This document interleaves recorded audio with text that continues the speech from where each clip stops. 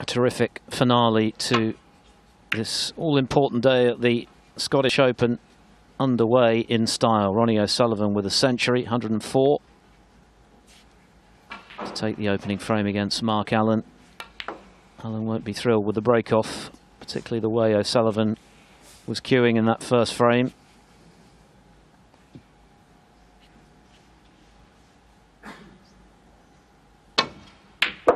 Picking up where he left off.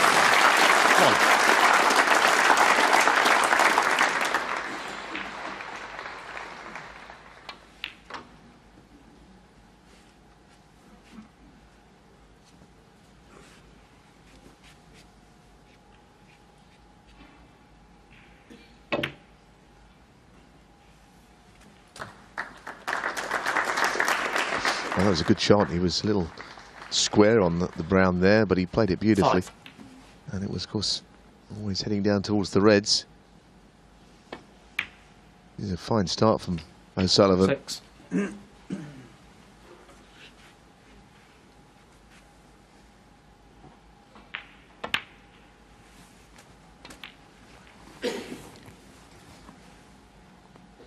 Thirteen.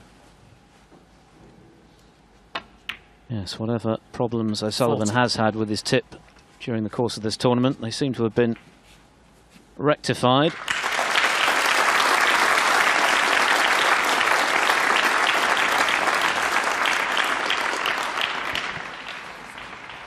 Yes, I think Liang Wenbo. In fact, I know Liang Wenbo has just won on the other table, beaten Barry Hawkins too.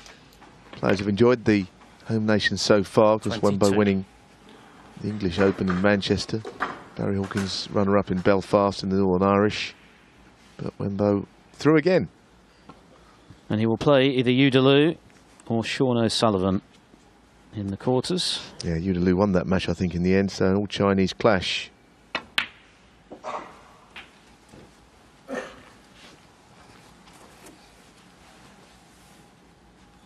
Twenty-nine. Thirty.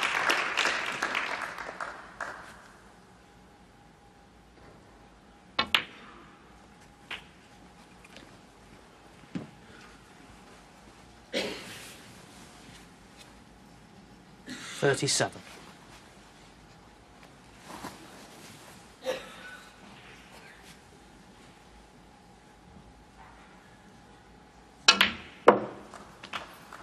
Thirty-eight. Gave that a bit extra to get topside. And it gives him a whole host of options. He'd probably, if he's going into them, he'd probably like to just go into them to the right of where the pink is, into that little group. Yeah, that's a good shot. That's beautifully played. He's so good at breaking the bunch. There's a bit of luck in it, but a lot of skill.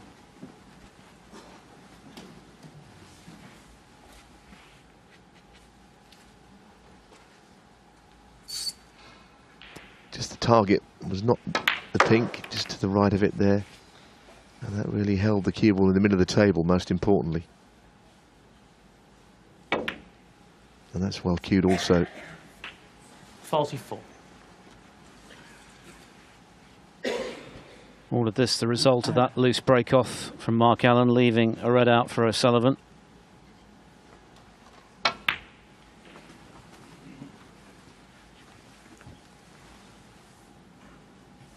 Forty-nine.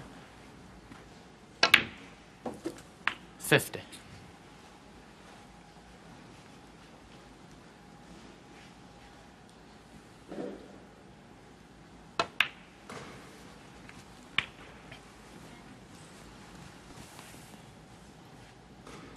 Fifty-six. Big moment just now, by the way, in the match between Neil Robertson and Marco Fu, who's won frame four on a 57. tie-break black. So instead of 3-1 Robertson, it's two apiece. Fu having made his seventh century of the tournament, his fourth today in the opening frame, a 1-4-1 before Robertson won frames two and three. So that match very much up for grabs.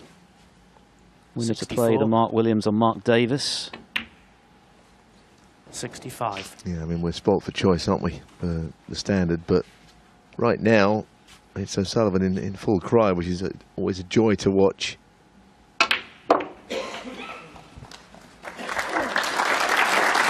Well, whoever put on His latest tip could be in line for a bonus, I think. This one is working very satisfactorily. And it was tour player Fraser Patrick who did it, friend of Alan McManus. I don't think Ronnie and Fraser are, you know, they don't know each other that well, but uh, might become good friends, I think, because he's put on a beautiful tip. Apparently, he's uh, renowned in these parts for that. Good player himself. 81. And if you asked Ronnie how this tip is at the moment, he'd probably say, nah, not bad. Back-to-back centuries looming. 87. Okay, just okay. Bit of ambidextrous snooker for good measure. This really is vintage O'Sullivan. Mark Allen's only had a couple of shots. He must feel as though he's not started the match yet. He's already 2 0 down. 96.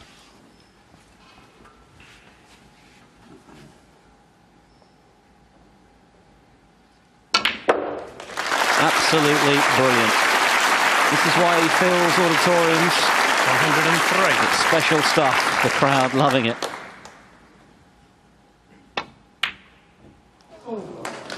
Hundred and four in the opening frame, 103 in the second. Ronnie O'Sullivan in top gear already, and Mark Allen has to somehow find a way to stem the tide. Otherwise, this match could be over very quickly. O'Sullivan 2 0 up.